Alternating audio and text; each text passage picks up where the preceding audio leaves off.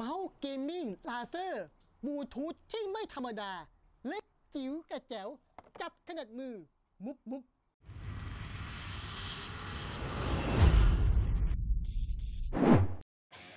สวัสดีครับ P4G นะครับ ผมป่านคุงนะครับ คลิปนี้เราจะมารีวิวของ gaming gear ที่เราไม่ได้มีการรีวิวกันมานานเลยนะครับ นั่นคือ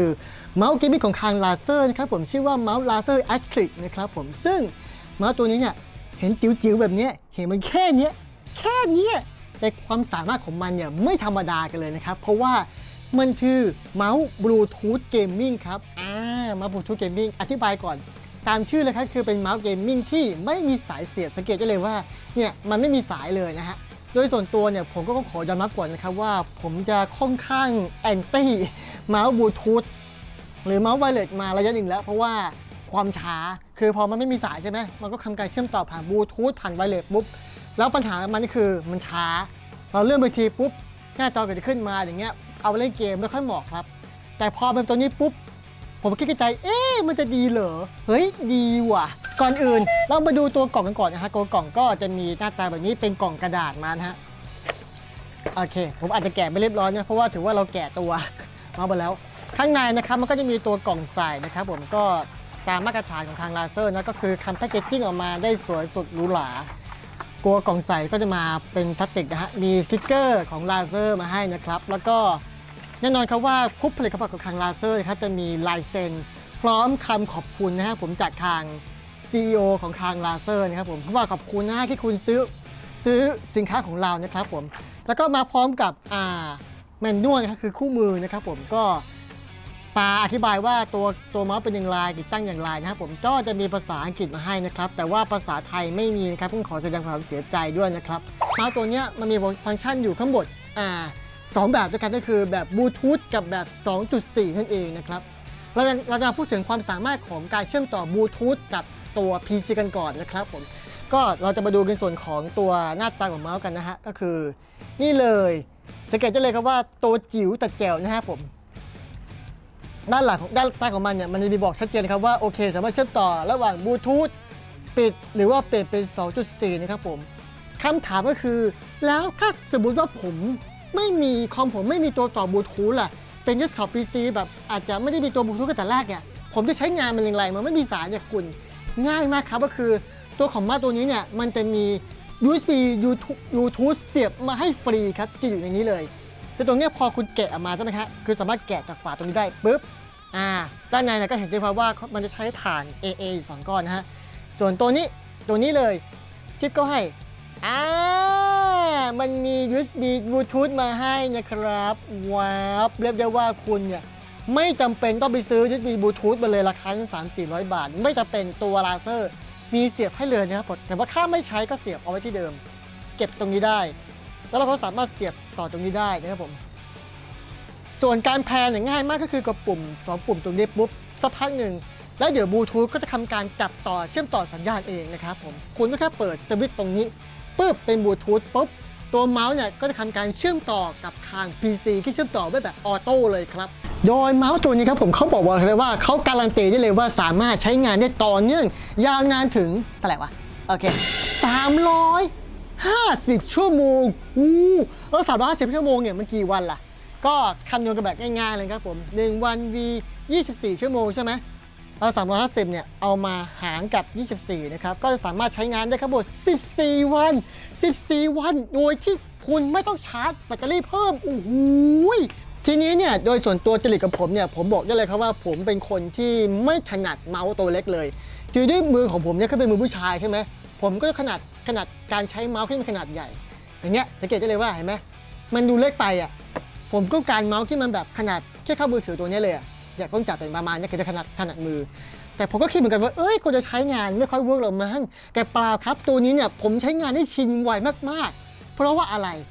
เพราะว่าตัวเมาส์ตัวนี้เนี่ยมันมีตัวกันลื่นมาให้ทั้งครอบเลย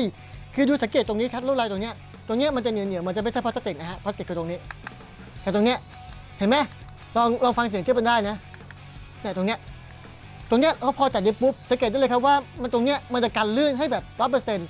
ฝั่งซ้ายอย่างนี้ก็มีฝั่งขวาก็มีนะฮะแล้วก็ตรงนี้อ่าตรงเนี้ยมันก็จะไม่มันก็จะไม่ได้ลื่นมากที่ซ้ำสังเกตได้เลยครับนะฮะแล้วก็ตัวเนี้ยมันก็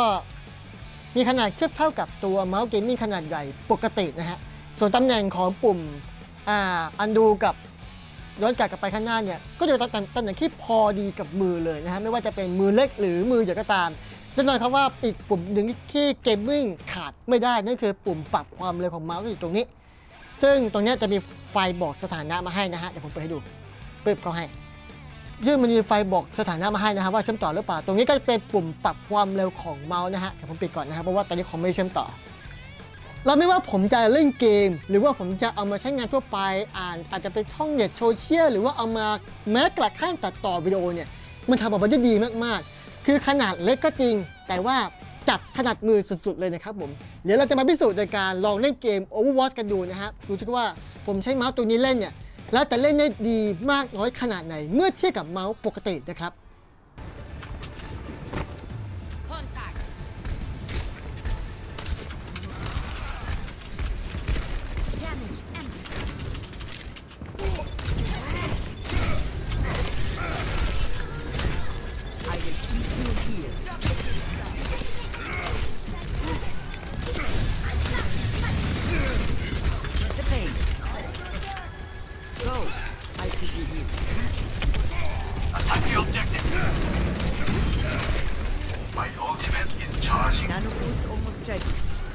Nano boost is ready to deploy.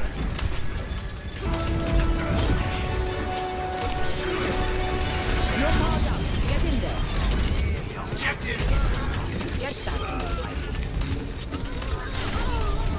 I'm pilot.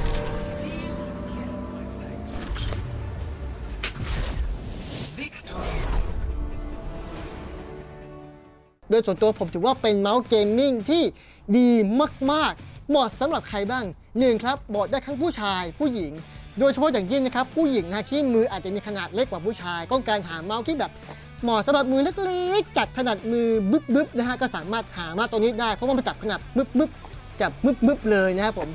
ส่วนอย่างที่ 2 ก็คือเหมาะสำหรับคนที่มีโน้ตบุ๊ก gaming หรือมีแล็ปท็อปที่ต้องพกพาไปไหนมาไหนบ่อยๆ กำลังมองหาเมาส์เกมมิ่งที่ดีมากๆ คุณภาพดีใช้งานได้อย่างยาวนานนะครับผมก็สามารถพกพาไปได้สะดวก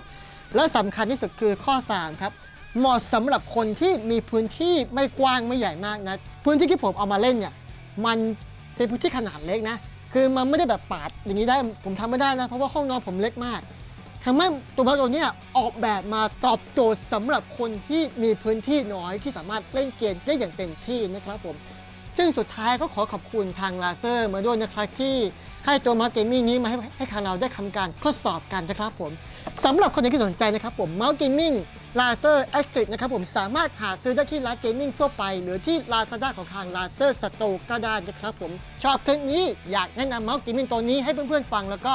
อย่าลืมกดไลค์กดแชร์คลิปนี้ด้วยนะครับผม ตอนนี้ผมก็ขอตัวลาไปก่อนนะครับ สวัสดีครับอะบ๊ายบายคนนี้ด้วย บ๊ายบาย เล่นคนเดียวก็เป็นเว้ย